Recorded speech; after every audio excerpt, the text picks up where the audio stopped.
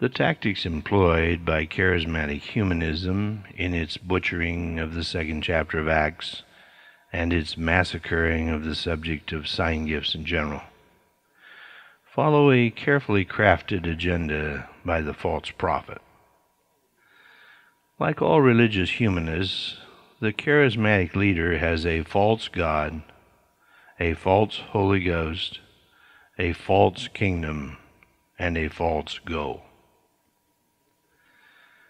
To the charismatic humanist, Jesus and the devil were fighting in the wilderness over the control of this world. The goal of the new covenant, according to them, is to stomp out evil and establish righteousness in this old creation. When that is done, Jesus Christ will come back and take control of this world, and it is here that we shall live and reign in it with Him. All of the marvelous achievements of the modern era, whether it's medicine, natural science, engineering, space travel, or what have you, is the result of the Holy Ghost coming into this world and giving light to the natural mind of men. That's their view. In that regard, wealth, health, political involvement, and all the other things that the Bible carefully and consistently says is never to become the prime concern of the church takes precedence. That this is a blasphemous and sacrilegious heresy hardly needs to be pointed out to the faithful Christian. In true Christian theology, which the charismatic humanist knows nothing about, this old creation is under condemnation. When Christ returns, said St. Peter in his second letter, in the third chapter, the old creation will pass away entirely it will be burned up into nothing by the judgment fires of God.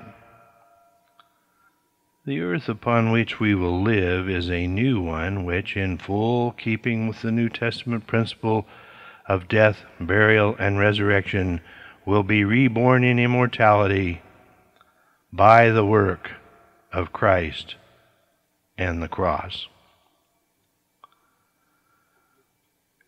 As for this old world, Jesus told Pontius Pilate on the occasion of his condemnation and just before his crucifixion that the school teaching ministry of the law was over.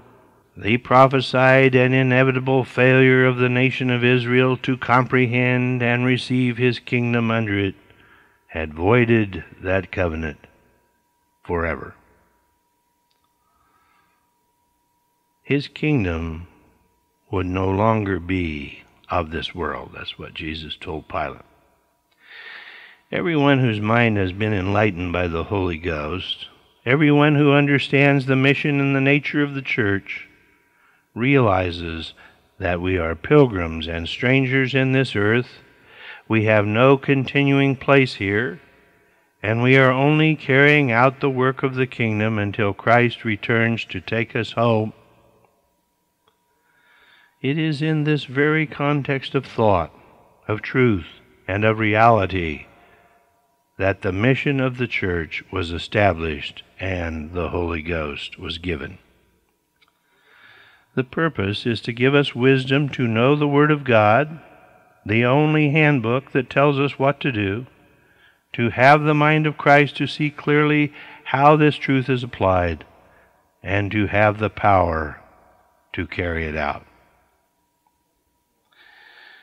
Now, we could go on endlessly about the willful, destructive, deceitful sins of the renewal movement, but it's not my purpose to do that. There are, however, a few phenomena that I want to point out before moving on. In charismatic humanism, as well as all other forms of religious humanism, or most of them anyway, a great premium is placed upon levity. We're bombarded with the saying, laugh, smile. We Christians are supposed to be happy. How can anyone see your joy and the love of God if you're not laughing and smiling? This is accepted doctrine in most of the church, but is it biblical counsel? Let us look and see. In 2 Corinthians 5:13 we read, "For whether we be beside ourselves, it is to God, or whether we be sober, it is for your cause." In 1 Thessalonians 5 6, we read, Therefore let us not sleep as others do, but let us watch and be sober. In 1 Thessalonians 5 8, we read, But let us who are of the day be sober, putting on the breastplate of faith and love, and for an helmet the hope of salvation. In 1 Timothy 3 2, it's written, A bishop then must be blameless, the husband of one wife, vigilant of good behavior, given to hospitality, and apt to teach. And in Titus 1 8, we read, A bishop must be a lover of hospitality, a lover of good men, sober, just, holy, temperate. In Titus 2 2, the aged men are exhorted to be sober, grave, and temperate, sound in faith and in charity and in patience. In Titus 2 4, it's written that they may teach the young women to be sober. In Titus 2 6, young men likewise exhort to be sober minded. 1 Corinthians 4 7 tells us that the end of all things is at hand. Therefore, be sober and watch unto prayer. In 1 Peter 5 8, we are commanded to be sober, to be vigilant, because your adversary, the devil, as a roaring lion, is walking about, seeking whom he may devour. Twice we are exhorted to sobriety. Five times to be grave or to gravity, two times to be quiet, once to be meek, four times to be humble, thirty nine times to possess humility, once not to be self willed, three times to be temperate, once to be moderate, and once to avoid vainglory. Seventy one times in the letters to the churches, the admonition is given to be quiet, grave, humble, meek, sober, serious, people. Now listen to this and listen carefully. Not once, not once in the Bible is the word smile ever used is not a biblical word. Twice, twice in the New Testament, both in the Gospel of St. Luke, the word laugh is used. Once it's negative, Woe unto you that laugh, for ye shall mourn and the other time it's used in such a way to show that laughter is not appropriate for the present time. Blessed are you that mourn now, for you shall laugh then. In the Old Testament, the word laugh is not used in connection with humor and merriment. It's used as an expression of contempt and ridicule. However, the word laughter is used in this way, but mostly negatively. Proverbs 14:13 says, "In laughter the heart is sorrowful, and the end of mirth is heaviness." In this we see that laughter is like the facade painted on the face of the clown. It's a deceitful cover up for an unfulfilled life and an unhappy heart. In Ecclesiastes 2 2, the great preacher Solomon said that laughter is a form of insanity and of mirth, what good does it do? In the seventh chapter, in verse 6, he said, For as the crackling of thorns under a pot, so is the laughter of fools. This also is vanity. This wisest of all natural born men analyzed life as he knew it and concluded that those who spend their time in noisy laughter and merriment and smiling are people who are shallow this is an escapist behavior. It is futile and it is useless, as useless as thorns under a pot. They crackle, they sparkle brightly, they make a lot of noise, they attract a lot of attention, but when the fire is out and there is nothing left but ashes, the skin of the pot has hardly been warmed. In the New Testament, St. James observed those who live in carelessness, sensuality, lightheartedness, insincerity, and preoccupation with materialism. To them he issued the stern commandment to be afflicted and mourn, and let your laughter be turned to mourning and your joy to heaviness. And then, too, there's a carnality and a sensuality about charismatic humanism that is evident to those of a discerning spirit, not only for its content, but its testimony. The charismatic guru makes no secret of the fact that he associates spirituality with sensuality. I would hate, he says, to see the controlled, sober, sincere, respectful servant of the Lord in his bedroom with his wife. If he is not willing to let his hair down in church, then he must be the same way in his intimate life. To the poor fool who offers this analysis, we have this reply. In spite of the fact that the charismatic humanist does not know it, the assembly on Sunday is not a bedroom. Christian leaders are not animals driven by conditioned reflexes like Pavlov's dogs, as the charismatic humanist believes and teaches. And this is one of the many troubles with charismatic humanism. It doesn't affect your heart, it hits you in the seat of the pants. Those who are in control of themselves, as the Bible commands, can behave soberly, righteously, and reverently in the assembly.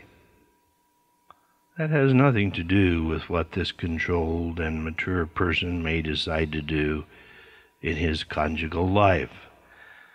This pitiful analysis is far more demeaning to the person who makes it than it is to the person for whom it is made. If sensuality, uncontrolled emotionalism, laughing and leering constantly like a burned out clown were part of the Christian walk, then the Holy Spirit, in his authorship of the Scriptures, has made an astounding oversight. 71 times. 71 times. 71 times. How many times is 71 times? That's a lot of times for any one point to be made in the relatively few words of the New Testament. You may not be able to find more than a handful of things that appear more often than 71 times. 71 times we are exhorted to be quiet, to be sober, to be restrained, to be in control, to act decently, to be orderly and to be reverent in our spirits. Never are we instructed to be emotional. Never are we instructed to be sensual. Never are we instructed to be noisy, to freak out, to hyperventilate, to gyrate, to clap, to stomp, to roll in the floor, to fall down if some two bit phony thumps you on the chest, or to leer or to laugh. Never once. Never once. Do you hear me? Small wonder the charismatic humanist does not want you to worship the written page. And then charismatic humanism seeks to establish an inner circle mentality by the argument that only those are critical of the ecstatic fit that they mislabel the baptism of the Holy Ghost who have never had the experience. Hmm. If there was nothing else to certify the brand of humanism on this movement, this one thing would do it. Every born again believer has been baptized by the Holy Ghost into Christ. This truth is based upon the promise of the Scripture and not on some verifying emotion or experience. But to charismatic humanism, the experience is superior to more trustworthy, and more meaningful than the Word of God. This is pure, unadulterated humanism descended from the serpent in the garden. The man of real faith gets his truth by revelation from the Word of God, from the tree of life, and not through the corrupting filter of human experience at the tree of the knowledge of good and evil. Experiences can be misleading, but the Word of God never is. And try as you may, you cannot find any confusing, ecstatic babbling in the second chapter of Acts at Pentecost. In the Bible and in true Christianity, no one has ever had to try anything in order to know whether or not it's good or bad. Originally, man was to get his truth from God by revelation and was not to establish truth by experience and experiment. In fact, this method, according to God, would, as indeed it did, bring certain death. One of the most successful lines that Satan ever came up with is, Don't knock it till you've tried it. As noted before, our young people have been lured into premarital sex, experiments with drugs and homosexuality by this catchy sounding lie. Many a young person in this world will live the rest of his natural life with a blown mind because some professor or some supposed friend convinced him that he had no right to criticize LSD until he had tried it. In fact, there is a definite correlation here. Many of the false miracles, the dishonest and weird out of the body experience claims, and false, the unbiblical messages from dreams, and on and on, are from those who have had their minds permanently damaged so that they are no longer able to know truth from error, reality from fantasy, by this emotional, mental warping of the mind, by the so called and falsely so called baptism of the Holy Ghost experience. Now, some men in the movement that I know are simply too honest for the unreal and phony pretense that one must put on in order to be initiated into the club. On the other hand, there are those who have had the experience and, by the grace of God, got out of it with their minds and their emotions intact. One of the great little books, if you ever see it, get it and read it by all means, is called Holiness, the False and the True by Dr. Harry Ironside. In it, he tells of a time when he was in the Salvation Army and everyone was getting this experience. Most of them wound up in rest homes for those who had had nervous breakdowns, another of the many bad fruits of the charismatic movement. Well, this is a fascinating little book. It gives us a real insight into this false world of pseudo spirituality and the blatant fakery and dishonesty that accompanies it. Now, in case you don't know who Dr. Harry Ironside was, he's a past president of Moody Bible Institute and regarded by Orthodox Christianity as one of the most honorable and dependable men of the church's long history.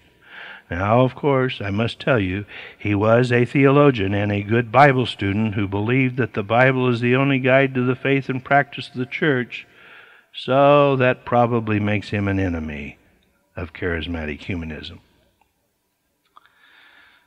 The Bible tells us, as we have just seen in 1 Corinthians 14, that the charismatic humanist approach to Pentecost, to the gift of tongues, to the baptism of the Holy Ghost, and to sign gifts in general is all wrong. We do not need any experiences to verify what the Bible says blowing out our minds in some kind of psychosomatic voodoo ritual will probably leave us permanently changed, all right. But who in their right mind wants that kind of change? There may be those of you who do not feel that charismatic humanism is a big problem. If so, you are very mistaken. One startling example should serve to make the point. About six weeks ago, I made a decision to attend the 11 o'clock service of Big Valley Grace Church in Modesto. From 11 o'clock till around 11:30, I watched and listened to my confusion, frustration, amazement, and disappointment as the entire body went through the classic machinations of charismatic humanism For a moment, it was as if I had mistakenly wandered into a Praise the Lord service on Trinity Broadcasting Network.